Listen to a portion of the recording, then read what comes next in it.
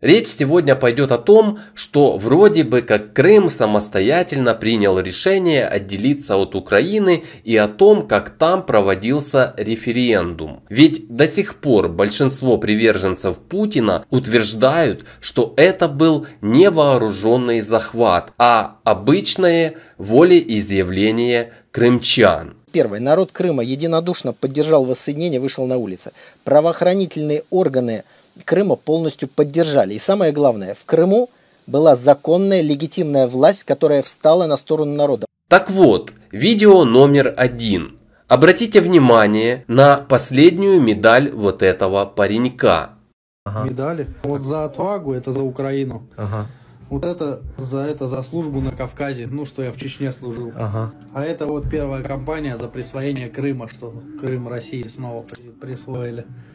Как видите, медаль за захват Крыма действительно существует и датирована она 20 февраля 2014 года. Янукович, как известно, покинул Украину 26 февраля. То есть Россия начала операцию по захвату Крыма за 6 дней до того, как в Украине якобы устранили Януковича, хотя его вывезли сотрудники ФСБ. И не факт, что это был один из этапов захвата Крыма. А если еще учесть то, что для проведения подобной операции нужно как минимум 1-2 месяца на подготовку и составление плана, то можно смело делать вывод, что Россия начала операцию по захвату Крыма приблизительно в декабре 2013 года. Тогда именно началось планирование этой операции.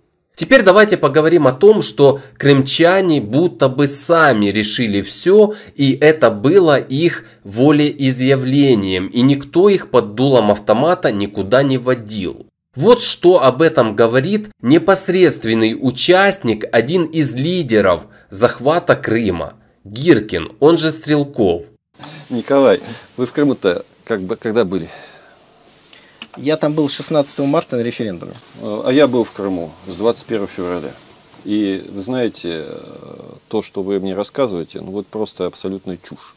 Я не увидел, к сожалению, никакой поддержки органов государственной власти в Симферополе, где я конкретно находился. Не увидел. Не было ее.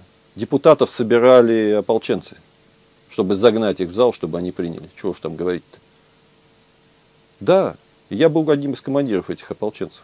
Я это все видел изнутри, собственными глазами. Про армию вообще не говорю про украинскую. Армия как подчинялась Киеву, так и продолжала подчиняться. И более того, большая часть э, подразделений в итоге осталась верна Киеву и вышла с территории Крыма.